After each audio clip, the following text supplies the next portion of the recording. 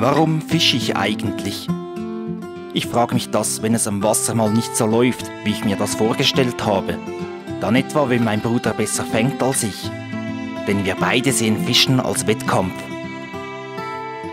Was gibt es denn Schöneres auf der Welt, als den eigenen Bruder beim Fischen zu übertrumpfen? Ehrlich gesagt geht es mir auch um Macht, doch nicht um jene Macht dieser Clowns mit den atomaren Sprengköpfen. Fischen hilft mir gerade, mich diesem ganzen Wahnsinn zu entziehen.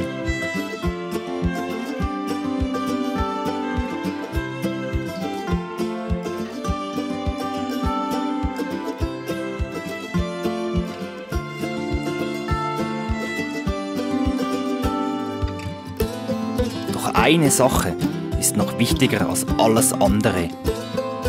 Ich meine die Gefährten am Wasser. Egal, ob am schönsten Bach der Welt oder am schwallgeplagten Kanal. Fischen verbindet. Ich glaube für immer.